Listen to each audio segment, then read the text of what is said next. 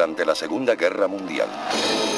Ya fuese para ocultar refugiados y evitar su captura, escapar de una prisión enemiga, proteger industrias del bombardeo aéreo u organizar la resistencia, los pasadizos secretos fueron parte esencial de la guerra, ayudando a mantener vivo el espíritu y la esperanza de las víctimas.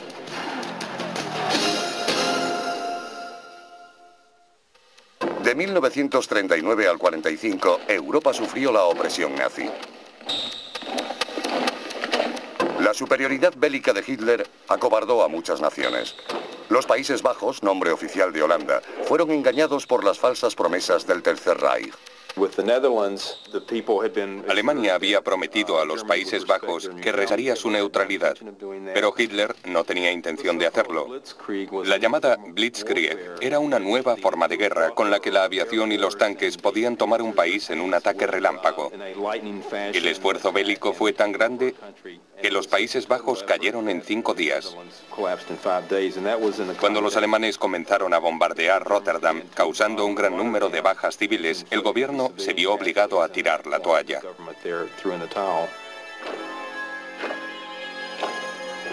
Mientras el pueblo holandés rezaba por recuperar su país, se escondía bajo la superficie, donde la ciudadanía encontró su mayor poder.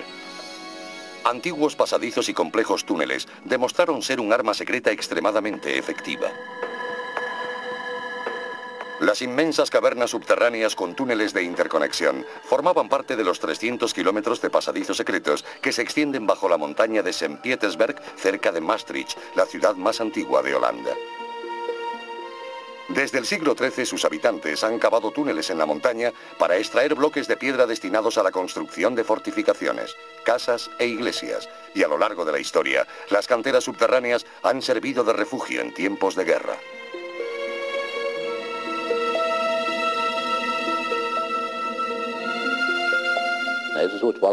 Aquí se está a salvo. Siempre hay entre 10 y 30 metros de montaña por encima de uno, dependiendo de la forma de esta. Aquí se está completamente seguro.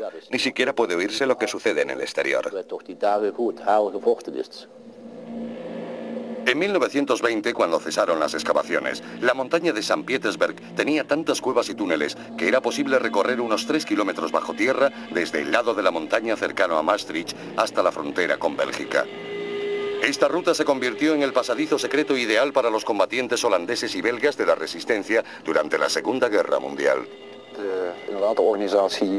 La resistencia holandesa se encargaba de llevar a los refugiados, a los pilotos aliados derribados, a los judíos y a muchos otros a través de la montaña. Al otro lado, las famosas Brigadas Blancas, la resistencia belga, intentaba llevarlos hasta Francia o España. Si alcanzaban España, había muchas probabilidades de que fuesen recluidos o incluso trasladados a Gran Bretaña.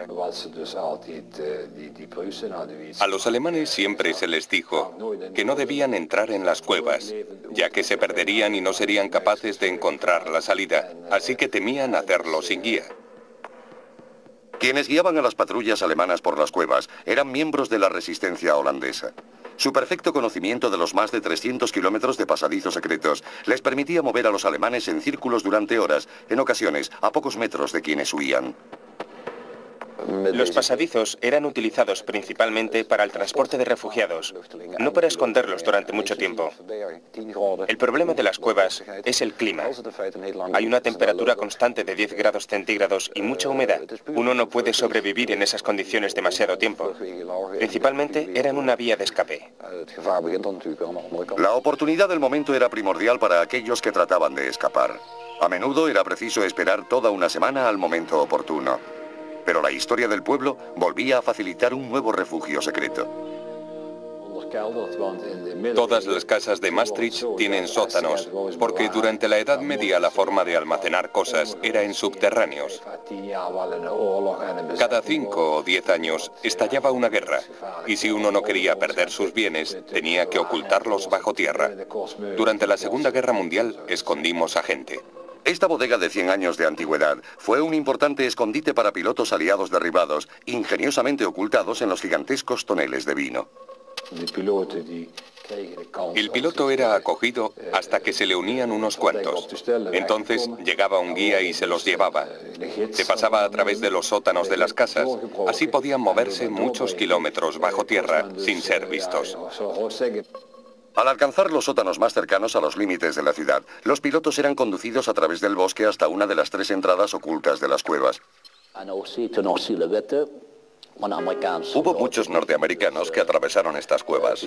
Se pueden ver muchas firmas de los pilotos y varias siluetas de soldados.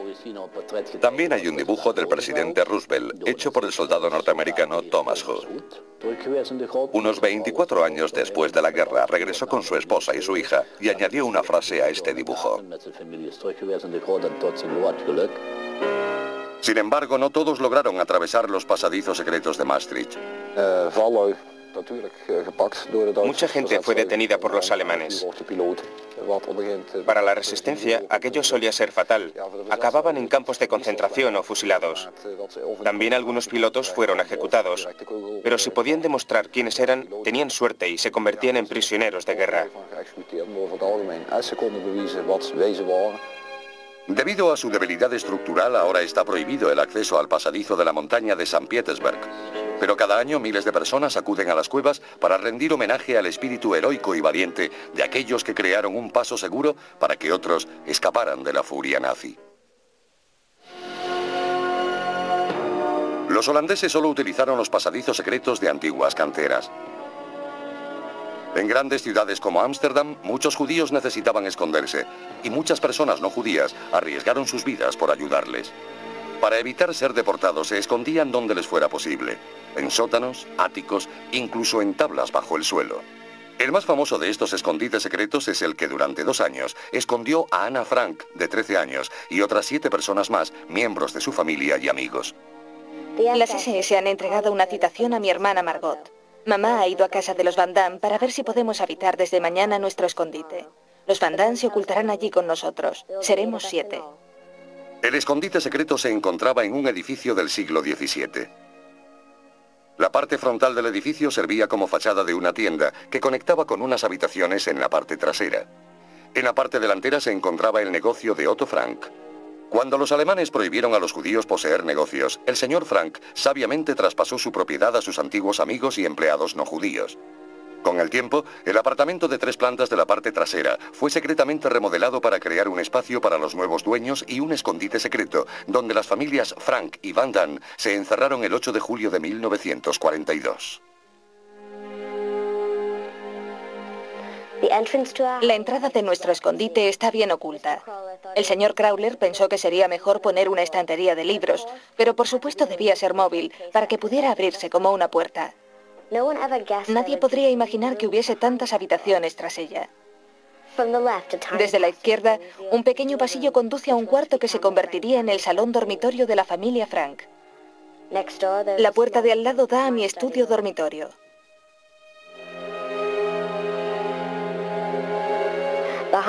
Tras él hay un pequeño cuarto con un lavabo y un váter. Subiendo las escaleras, uno se sorprendía de que hubiese una habitación tan grande y luminosa en una casa tan vieja del canal. Ahora es la cocina y el dormitorio del matrimonio Van Damme. Al lado están la sala de estar, el comedor y el estudio. Un pequeño cuarto corredor será la habitación de Peter Van Damme, sobre la que hay un ático. Ya ves, te acabo de mostrar todo nuestro anexo secreto.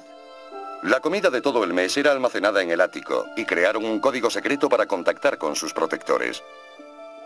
Durante el día, las ventanas del anexo estaban cubiertas por cortinas, pero por la noche eran cuidadosamente tapadas para evitar ser descubiertos. Entonces, sin previo aviso, en agosto de 1944 ocurrió el desastre. La Gestapo descubrió su escondite y asaltó el anexo secreto. El castigo fue inmediato. Ambas familias fueron separadas y enviadas a campos de concentración. Ana murió dos semanas antes de que acabase la guerra. De los siete ocupantes del anexo secreto, solo Otto Frank sobrevivió. Sus protectores, Johannes Kleiman y Víctor Kugler, también fueron detenidos y enviados a los campos de concentración.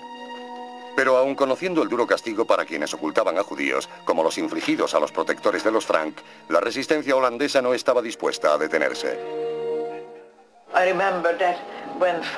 Recuerdo que cuando mi padre fue advertido por sus amigos de que no tuviera tantos judíos en casa o terminaría en prisión, él les contestó, será un honor dar mi vida por el antiguo pueblo de Dios. Durante tres generaciones, la familia Ten Boom regentó una relojería en Harlem, Holanda.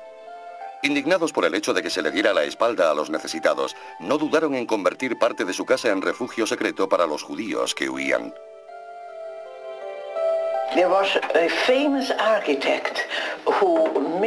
Fue un arquitecto famoso quien hizo estos escondites y esa fue su contribución al trabajo clandestino. Nunca olvidaré cuando vino y recorrió toda la casa para ver dónde era posible construir el refugio. Y como era la habitación más alta de la casa, escogió la mía.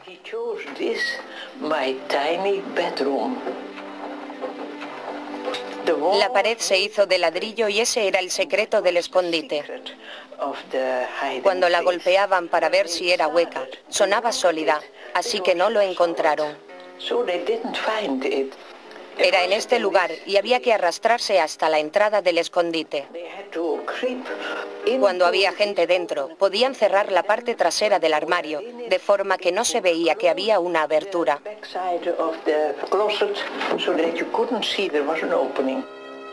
Una vez construido su pequeño pasadizo secreto, los Ten Boom corrieron a voz de que estaban preparados para recibir visitas. Algunos se quedaban un día, otros una semana o más, mientras esperaban su oportunidad para escapar.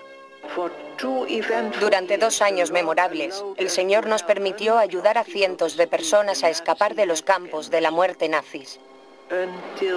Hasta el 28 de febrero de 1944. El simpatizante nazi Jan Vogel, haciéndose pasar por un hombre que necesitaba ayuda para su esposa judía, traicionó a la familia Tenbum. Poco antes de que la temida Gestapo empezara un registro brutal del establecimiento, cuatro judíos y dos miembros de la resistencia holandesa apenas tuvieron tiempo de esconderse en el pasadizo secreto. Tras seis horas de registro, los miembros de las SS se vieron obligados a reconocer la derrota, pero no se fueron de manos vacías.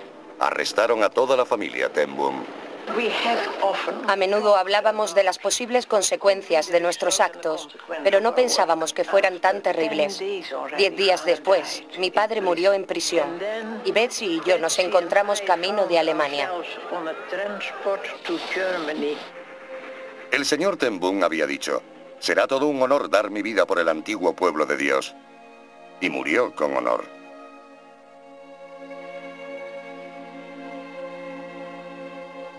Durante tres días de terror, después de que la familia Ten fuese arrestada, los seis refugiados permanecieron escondidos en su pasadizo secreto. Finalmente, con el terreno despejado, un compañero de la resistencia holandesa los condujo a un lugar seguro. A menudo durante la guerra, el pueblo judío tuvo que confiar en su propia suerte y astucia para escapar de los nazis. Cuando las tropas alemanas entraron en Roma en septiembre de 1943, la detención de los judíos parecía inminente. Desde la Edad Media habían vivido en el mismo barrio de la ciudad conocido como la Judería. La mañana del 16 de octubre de 1943, los nazis llevaron a cabo el primero de sus muchos asaltos al barrio judío. Llegaron a las 5 de la madrugada con ametralladoras. Tiraron las puertas asustando a los niños. Se llevaron a todo el mundo. Conocían todos los nombres. Rosa Efrati y su familia eludieron a sus captores nazis, escondiéndose en un pasadizo secreto de 2.000 años de antigüedad bajo su casa. La judería está justo sobre el corazón de la Roma antigua y la densidad arqueológica del suelo es extremadamente alta. Casi todos los edificios del barrio tienen bodegas o sótanos que conectan directamente con restos antiguos. Bajo una trampilla del sótano de los Efrati hay una escalera que lleva directamente a la antigua Roma. Aquí, a nueve metros bajo el suelo, están los restos del templo de Juno, donde se refugió la familia Efrati. El templo de Juno Regina, que es la base del edificio de la señora Rosa, es muy antiguo y data del siglo II a.C. Solo unos pocos conocían la existencia de estos pasajes secretos bajo las casas, mientras en la superficie la Gestapo patrullaba la zona. Aún puedo oír el sonido de sus botas por el suelo. Podíamos reconocer sus botas. En estos pasadizos, la familia Efrati encontró un refugio temporal. Sin embargo, no duró demasiado. Tras la aparición de una nueva figura histórica, Celeste Di Porto, una mujer judía joven, conocida como la Estrella por su belleza deslumbrante, que se convirtió en espía y traicionó a centenares de judíos. Por culpa de esta mujer y su traición, los miembros de la familia Efrati, junto con muchos otros, fueron atrapados y deportados. Rosa sobrevivió por pura casualidad. Mientras capturaban a su familia, estaba fuera de la judería buscando comida. Durante los siguientes ocho meses, desapareció en la Roma subterránea. Hay un número enorme de pasadizos secretos bajo Roma. El número de pasillos, corredores, vestíbulos y cámaras es sorprendente. En algunos puntos, el nivel de la calle está a unos 18 metros por encima del que tenía la antigua Roma.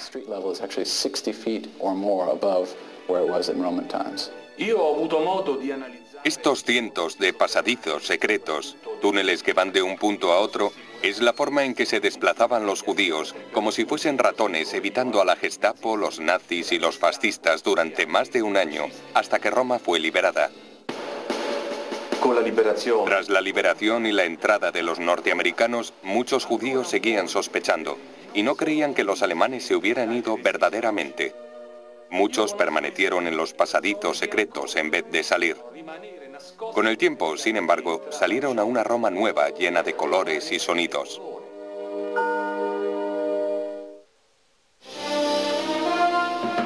Suiza es el país más montañoso de Europa Occidental. Situado en la zona central, tiene fronteras con Francia, Alemania e Italia. A simple vista, los picos de más de 4.000 metros y los pasos alpinos parecen impenetrables. Sin embargo, una serie de túneles fortificados y pasadizos secretos sirvieron como columna vertebral de la defensa suiza durante más de 200 años. Hablamos de áreas independientes, no de un largo frente, sino toda una serie de fortificaciones y baluartes, lugares excavados en las montañas, donde las tropas podían vivir durante largas temporadas. A mediados de los años 30, a medida que la amenaza invasora de Hitler se hacía más fuerte, los suizos se dieron cuenta de que su posición central podría proveer a las tropas nazis el atajo que necesitaban para su avance. En 1934, los líderes suizos ordenaron al ejército comenzar un esfuerzo para modernizar, ampliar y llenar de suministros los fuertes y pasadizos secretos. Los miembros de las Fuerzas Armadas dejaron a sus familias para acudir a estas áreas fortificadas sin contarle nada a nadie. No tenían permiso para decir a dónde iban o dónde se encontraban estas instalaciones y lugares subterráneos. Ni siquiera podían mencionarlos. Era información altamente secreta. Pero había espías alemanes por todas partes, incluida Suiza averiguaron todo lo que pudieron sobre los suizos, sobre su ejército y sus fortificaciones. Trazaron mapas e hicieron estudios. A veces creo que el espionaje alemán favoreció a Suiza, porque ésta se preparó contra los nazis y la guerra mejor que cualquier otro país europeo. Y los alemanes veían lo que hacíamos para frenar un ataque o al menos que les costase caro intentar entrar en el país. Todos los hombres fueron adiestrados para manejar armas y preparados para defender los fuertes, relativamente pequeños, estratégicamente situados, ocultos a lo largo de la frontera. Ingeniosamente los suizos utilizaron el entorno natural como unos escenarios al estilo de Hollywood para ocultar a la mortífera fuerza de ataque. Lo que parecía un simple búnker era en realidad una fortaleza subterránea. Construida a muchos metros bajo tierra y reforzada con acero y cemento, un solo fuerte solía extenderse casi un kilómetro. Las ametralladoras formaban la primera línea de defensa cerca de las fronteras. Grandes cañones con más de 10 kilómetros de alcance estaban emplazados en los valles al pie de los Alpes. Había cañones que subían a la superficie, disparaban y volvían a ocultarse bajo tierra. Y debajo se encontraban las alas y los almacenes de munición donde se cargaban los cañones. Los pasadizos se extendían en todas las direcciones, hasta unos 45 metros de profundidad, proporcionando a los soldados que se encontraban en su interior una resistente armadura. Cada fuerte estaba diseñado para frenar el avance del enemigo, mientras eran preparados y equipados los más grandes, situados a más altura, en los Alpes. El resto de Europa no estaba bien preparada para la guerra, pero Suiza sí. Si en algún momento se producía una invasión nazi, los suizos tenían previsto volar el túnel de San Gotardo, de 17 kilómetros de longitud, que atraviesa los Alpes y conecta a Suiza con Italia. Así cortaban de raíz uno de los principales motivos por los que Alemania querría invadirlos. Los nazis pretendían enviar a sus tropas por ferrocarril vía Suiza hasta Italia, pero ellos no lo permitirían, de ningún modo. Eliminar este acceso de montaña principal forzaría a Hitler a invadir las llanuras de las fronteras suizas del sur. Pero estas tropas fronterizas estaban en constante estado de alerta. Con suficiente munición para frenar al enemigo solo durante 10 días, las tropas suizas sabían que los fortines secretos de la frontera solo detendrían momentáneamente a los invasores. Las tropas de la frontera lucharían hasta la muerte. Básicamente era una cuestión de aguantar el tiempo suficiente para que el grueso del ejército suizo pudiera concentrarse en los Alpes. Esa era la zona más fortificada. Contaba con provisiones, la aviación alemana no era efectiva allí y resultaba inaccesible a los tanques. Si se desataba la guerra en las tierras bajas, los suizos tenían un plan para desplazar rápidamente a las tropas y a los civiles, a los nevados Alpes y los enormes refugios que habían preparado dentro de las montañas. Estas formidables fortalezas alpinas fueron excavadas en las montañas a ambos lados de los valles. Los pasadizos secretos ocultaban los gigantescos cañones que esperaban la llegada de los confiados alemanes.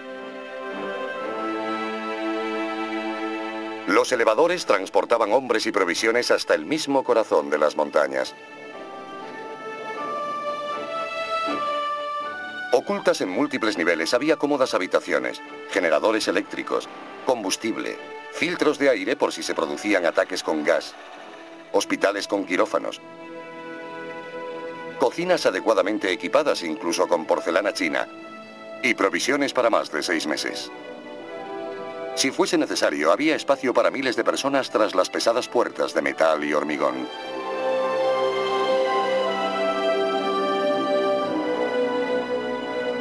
Todos los métodos de la guerra relámpago que habían usado en otros lugares no funcionarían aquí.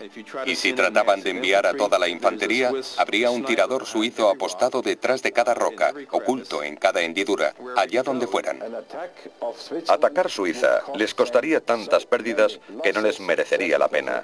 Por si acaso, toda fábrica importante, todo puente y todo túnel estaba preparado para ser volado desde 1938.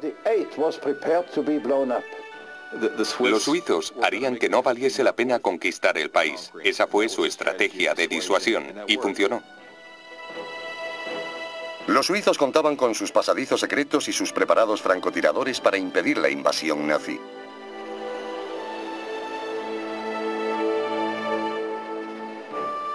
A pesar del atajo que hubiera supuesto Suiza, Hitler hizo caso a sus espías que le informaron de que las montañas suizas estaban llenas de pasadizos secretos e infestadas de francotiradores preparados para defenderlas hasta la muerte.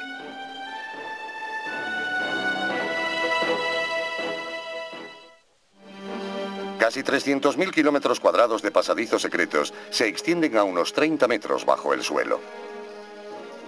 Aunque ahora están vacías, estas enormes y elaboradas catacumbas fueron consideradas como la defensa perfecta contra el plan alemán de destruir las fábricas inglesas. En 1940 Inglaterra soportaba el duro embate de la Luftwaffe alemana. Los constantes bombardeos sobre Gran Bretaña eran brutales. Hitler intentaba minar la moral del pueblo británico preparando el terreno para la invasión de sus tropas.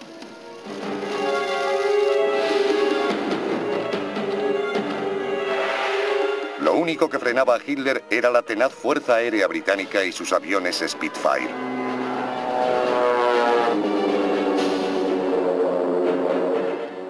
Mientras la industria británica pudiese construir aviones y motores más rápido de lo que los destruía los alemanes, estos perderían ventaja. Pero la inteligencia alemana informaba a los pilotos de la posición exacta de las fábricas de aviones. Lord Beaverbrook era el ministro de producción de aviones y presionó a Churchill para que autorizara la construcción de una serie de fábricas subterráneas. Toda la industria aeronáutica sería trasladada bajo tierra lo más rápidamente posible para protegerla de los bombardeos. El gobierno británico decidió que la ciudad de Corchan sería el sitio perfecto para su mayor fábrica secreta de aviones. Corchan era conocida por contar con una de las canteras de piedra más profundas del país. En abril de 1941 comenzaron los trabajos de los pasadizos secretos industriales, cavando nuevas entradas, lo bastante grandes para introducir la enorme maquinaria aeronáutica. Durante la Segunda Guerra Mundial, la cantera Spring fue la mayor fábrica subterránea del mundo, casi 200.000 kilómetros cuadrados de espacio y un túnel de acceso de unos 800 metros de longitud. Aunque las condiciones subterráneas eran sumamente desagradables, el gobierno trató de hacerlas seguras para sus 20.000 empleados. Uno de los mayores temores al comienzo de la guerra era que se produjera un ataque con gas. Los alemanes habían utilizado con éxito el gas venenoso en la Primera Guerra Mundial. Creo que hay unos 12 ventiladores enormes que hacen circular el aire. Y para evitar el envenenamiento por gas, se construyeron estas enormes válvulas de mariposa en los pasillos de ventilación, que se cerraban automáticamente si se detectaba gas venenoso. Para mantener en secreto el enorme proyecto de construcción, las entradas y los pozos de ventilación fueron camuflados entre los árboles de Corchan. Pero incluso más crucial que el secreto era la rapidez. Aceptaron desde un principio que aunque lo pretendieran, probablemente no sería un secreto. Cuando el primer motor de avión salió de la fábrica de la cantera Spring en 1943, la aviación británica había logrado alejar a los bombarderos alemanes de la costa. El proyecto llevó demasiado tiempo y mucho dinero. El coste de la infraestructura fue de 20 millones de libras. La maquinaria y herramientas costaron otros 20 millones de libras. Y probablemente eso mismo sumaron los salarios de los trabajadores durante cuatro años. Hoy equivaldría a un billón y medio de libras. No era dinero lo que necesitaban los alemanes para construir la nueva y terrible arma que probaron en 1944. Los cohetes V-1, cargados de potentes explosivos, comenzaron a caer sobre Londres durante junio de 1944. Murieron más de 5.000 personas inocentes y otras 35.000 resultaron heridas. Pero los ataques que comenzaron durante la primavera no cesaron. En vez de ello, se intensificaron con los cohetes V-2, el primer misil balístico supersónico de alcance medio. Podía ser lanzado desde Alemania y alcanzar un blanco en Londres tan rápidamente que los ingleses ni siquiera lo irían llegar. Cansada y con escasas fuerzas, la aviación británica atacó las fábricas de cohetes en Alemania. Hitler respondió trasladándolas a los pasadizos subterráneos de una ciudad llamada Nordhausen a un lugar llamado Mittelbau-Dora. Los horrores que ocurrieron aquí nunca serán olvidados. A diferencia de los británicos que intentaron mantener a salvo a sus trabajadores, en Mittelbau Dora se utilizó la inagotable y prescindible mano de obra esclava. La intención de los alemanes era hacerlos trabajar hasta la muerte. Sin embargo, los judíos no eran enviados aquí, sino los prisioneros de todas partes de Europa y muchos alemanes indeseables. Eran clasificados por categorías con gran eficiencia. Los prisioneros políticos, los criminales, los homosexuales, los cristianos devotos y aquellos denominados simplemente antisociales. Más de 60.000 hombres y unas cuantas mujeres fueron obligados a cavar dos enormes túneles paralelos de unos 27 metros de ancho y un kilómetro y medio de largo cada uno. Entre los dos túneles principales había 48 más pequeños de conexión. Teníamos que entrar en los túneles para taladrar los agujeros donde se colocaban los explosivos. Y teníamos que quedarnos allí y refugiarnos detrás de las rocas cuando los explosivos eran detonados. No podíamos salir del túnel porque no nos dejaban. Después de la explosión, apenas podíamos ver por el polvo. Y muchos morían por la voladura. Vertíamos cemento armado. Y si los prisioneros no podían salir a tiempo, echábamos el cemento sobre ellos. Aún yacen ahí dentro. Las entradas de las fábricas eran camufladas, ocultando al mundo el infierno que se desataba allí dentro. Al menos 100 prisioneros morían cada día. Sus cuerpos solían ser apilados en oscuros rincones de los pasadizos secretos. Cuando terminaron las excavaciones, los prisioneros fueron obligados a ensamblar los precisos mecanismos de los cohetes V2.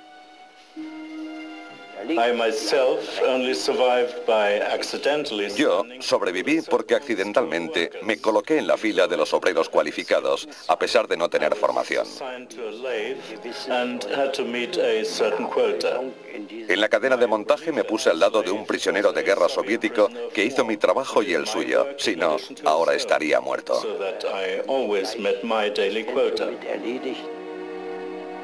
Cualquier prisionero sospechoso de sabotaje o simplemente de pereza era colgado inmediatamente.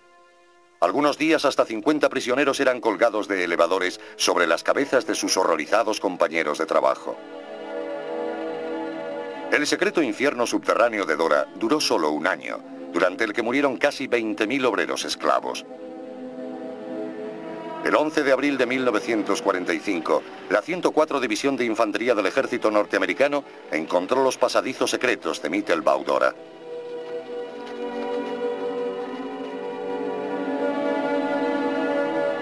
Los trágicos hechos que descubrieron añadieron otro capítulo al interminable libro de la crueldad del hombre contra el hombre.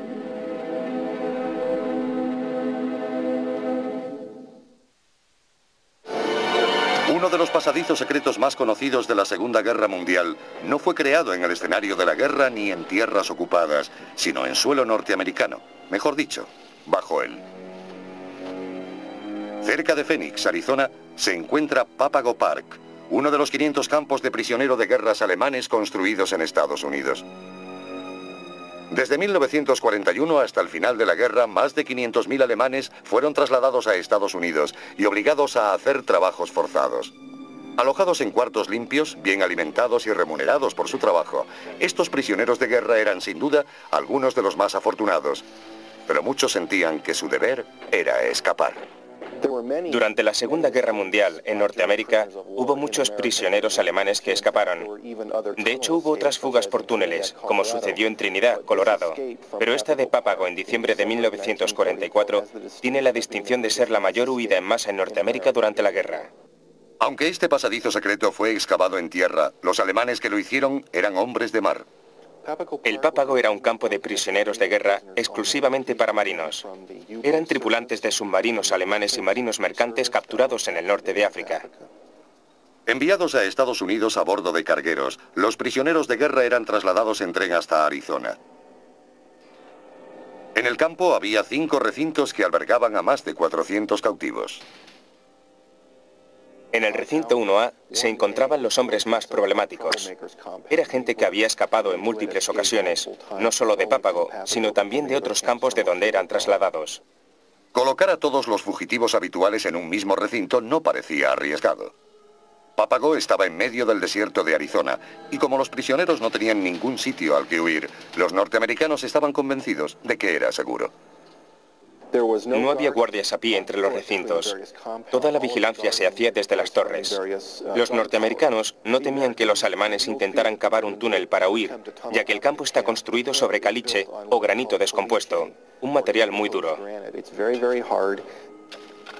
Los norteamericanos menospreciaron la determinación de los prisioneros que querían salir de allí a cualquier precio. Los alemanes escogieron deliberadamente un punto ciego entre dos edificios. Ocultos de las torres vigía, los prisioneros comenzaron a excavar su pasadizo secreto cerca de una caja de carbón que utilizaban para cubrir la entrada del túnel cuando no trabajaban en él. Profundizando casi 5 metros, el túnel fue diseñado para ascender en el borde de un canal a unos 55 metros de distancia.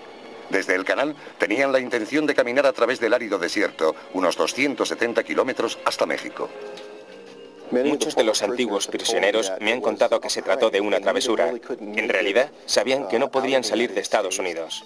Ya fuera por aburrimiento o patriotismo, los prisioneros alemanes se tomaron su huida muy en serio. Durante cuatro meses trabajaron por turnos día y noche ocultando la entrada del túnel. Cavaban con lo que pudieran encontrar, cucharas, cuchillos, navajas, martillos, cualquier cosa con la que poder excavar la tierra. La cargaban en este pequeño vagón y la tiraban fuera. Hicieron huertos en su recinto con la tierra que habían extraído del túnel. Una de las áreas donde los alemanes escondían la mayor parte de la tierra excavada era en el campo de Faustball. Pidieron permiso al comandante del campo para construirlo. Era una versión alemana del voleibol. Utilizaron gran cantidad de esta tierra para enrasar el campo. En la noche del 23 de diciembre de 1944, 23 prisioneros alemanes del recinto adyacente celebraron una ruidosa fiesta de Navidad. Mientras los guardias se centraban en el alboroto, 25 marinos desaparecieron bajo tierra escapando al desierto de Arizona. De hecho, el túnel estaba tan bien escondido que no fue descubierto hasta 24 horas después de que se conociera la huida. Larry Jorgensen fue el guardia que encontró el pasadizo secreto. Miré hacia el suelo y vi una esquina de madera blanca, muy clara, y pensé que algo no encajaba. La levantamos y pudimos ver el túnel.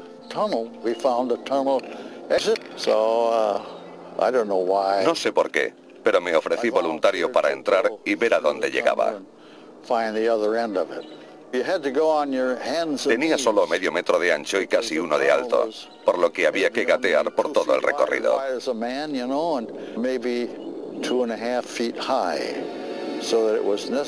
Enseguida vi un haz de luz al final del túnel. Era la salida y fui subiendo poco a poco.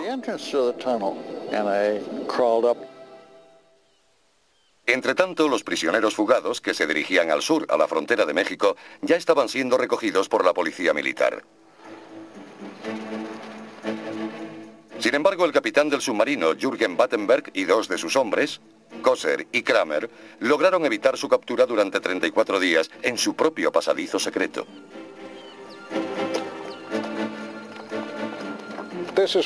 Aquí fue donde Kramer divisó esta cueva, que en realidad no es más que una grieta.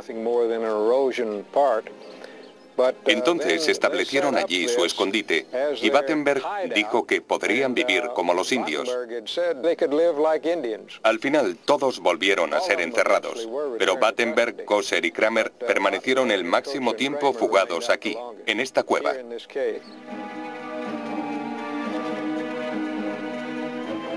Alemania también encerró a sus prisioneros de guerra más problemáticos en un lugar. Aquí, en el castillo de Koldit, situado en el corazón de Alemania, cerca de la ciudad de Dresde. Construido en el 1040, el castillo de Koldit fue convertido en campo de prisioneros de guerra por Hitler. El oficial alemán nos dijo, sabemos que ustedes siempre intentarán escapar, así que los vamos a mandar a un campamento para niños malos. Y así llegué a Koldit. El castillo estaba considerado a prueba de fugas. Las paredes de piedra tenían un metro de espesor. El patio de los prisioneros estaba rodeado por muros de casi 10 metros de altura, y cualquiera que lograra escalarlos se enfrentaría a una caída de 35 metros justo sobre las ametralladoras alemanas. Pero nada de esto frenó a franceses, británicos, polacos, holandeses y belgas de intentar crear su propio pasadizo secreto al exterior aprovecharon todas las debilidades de la fortaleza. Los alemanes tenían aquella frase exasperante que soltaban cuando capturaban a alguien y uno pensaba que estaban siendo amables. Para usted, la guerra ha terminado. Pero aquello no sucedía y lo único que podíamos hacer y que debíamos hacer era escapar. De las docenas de intentos de fuga de Coldit, quizá la más ambiciosa fue la de los franceses. Entre los prisioneros circulaba la historia de que una cripta situada bajo la capilla podría servir de vía de escape. Pero los guardias alemanes acudían a ella demasiado a menudo. Así que Bernard Casamayou decidió que el pasadizo secreto francés debería comenzar en la Torre del Reloj, cerca de la capilla. Forzando la entrada al tercer piso de la torre, construyeron una serie de trampillas para acceder a la planta baja. Toda la tierra extraída tenía que ser transportada a la parte superior de la torre para esconderla. Pienso que estábamos locos por intentar algo así.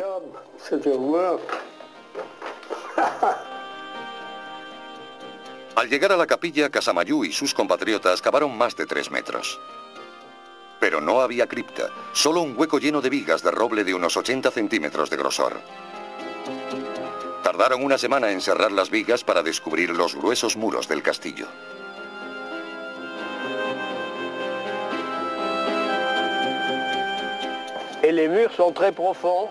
Las paredes eran muy profundas, pero logramos pasar por debajo.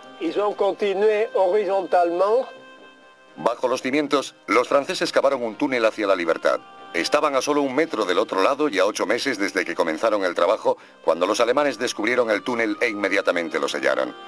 Los casi 44 metros fueron cegados para siempre. Una lástima. Unos cuantos oficiales británicos dieron con uno de los más ingeniosos usos de un pasadizo secreto jamás ideados. Se convirtieron en fantasmas.